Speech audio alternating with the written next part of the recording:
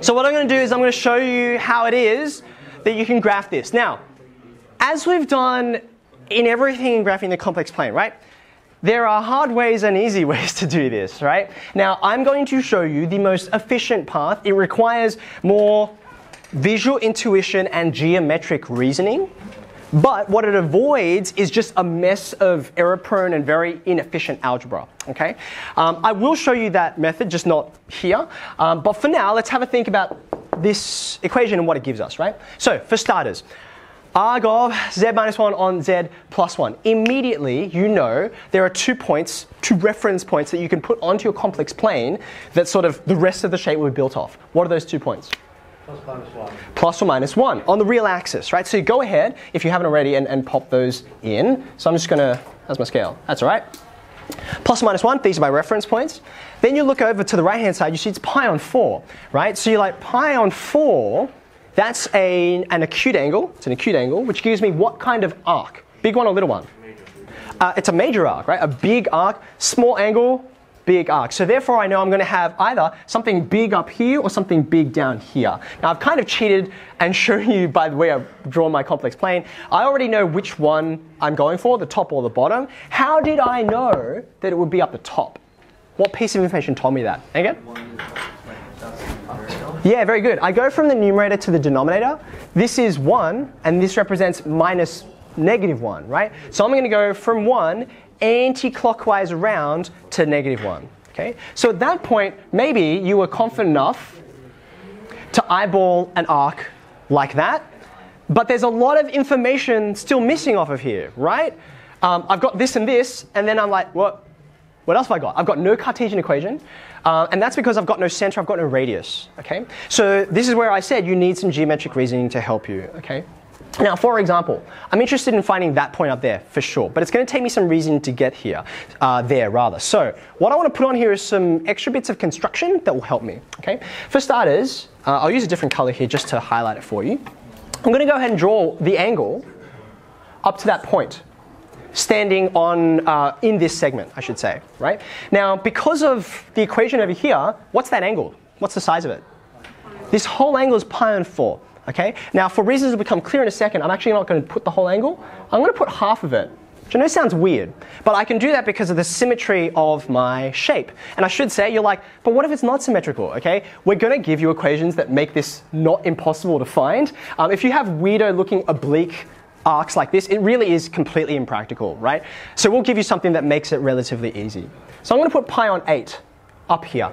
Okay? Now the reason why that's useful to me is because knowing roughly the center of the circle should be, I don't know, I'm just going to eyeball it around there. Right?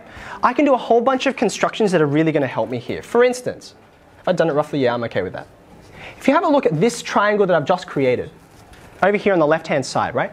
What kind of triangle is that?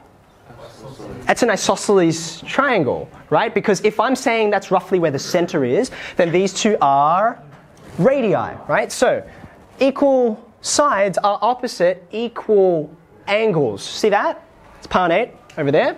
And I've done this trick a couple of times, right? This angle here and this angle here are interior angles that are opposite. I'll use another color now. Oh, Here it is. They're opposite this exterior angle. See that?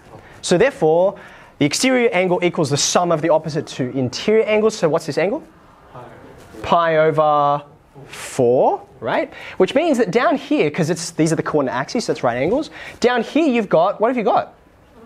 Another isosceles triangle, right? And thankfully, because I know, back to this color, because I know this distance here, which is, which is 1, that means I know this distance here, also 1. So now I have coordinates, right? Um, this point here, in fact, I'm not going to put brackets. On this point here, because it's one unit above the real axis, in complex terms, I would call that i. You happy with that?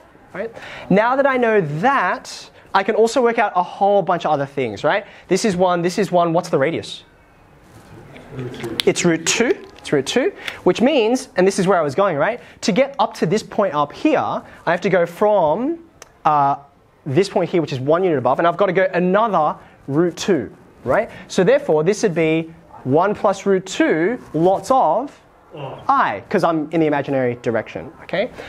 Can you tell me the equation of the circle from this? What do you think? x squared because our normal circles we start at the origin and then we shift, but I haven't shifted horizontally anywhere. I'd have shifted vertically though. This is, um, yeah, the center, the center has gone up one unit. So it's y minus 1 squared. And then what's on the right hand side? 2. 2, because that's the square of the radius, which we've already established as root 2. Make sense? Now I'm going to stop there like I said, there is a long and awkward way to algebraically do this. I'll show you, but I hope if you look at that, you'll be convinced, oh, I don't want to go there if I can possibly avoid it. And the geometric thinking is actually the main thing we're looking for. Want to add anything, Mrs. Lees? Um, not about that. Okay. Um, Emmanuel, question. Uh, if we, if I use the circle geometry formula, do I need to quote the like the roots? Like center angles is twice and any inscribed angle subtended by the. Sure. So. Um, there's a bunch of different ways to do this question. I've deliberately avoided using some of the circle geometry properties that I know you haven't covered for like a long time. But if you're going to use them, you got to tell me why, right? So the short answer to your question is yes. Last one, Zhao. Oh yeah, for the, the the Cartesian equation, do we also have also have to include y greater than zero? Ah, okay. So do you need to include y is greater than not including zero to make this correct, okay? Um, the short answer is, in this case, absolutely. Like I don't have the whole circle down here, do I? However, I do want to point out, if you just come back and look at some of these arcs that we were drawing before, right? You see how they're off at an angle? They are what we call oblique, right? Which just means off at an angle, right? You can't simply say, oh, x is less than this, y is greater than that, right? It doesn't quite work because you don't have a nice horizontal cutoff, right? You'd actually have to use a couple of different uh, restrictions to tell you which part of the domain that it is. Um, but generally, this equation and this diagram, they are my answer, right? You can see unambiguously from here which part I'm including and which part I'm not. Does that make sense?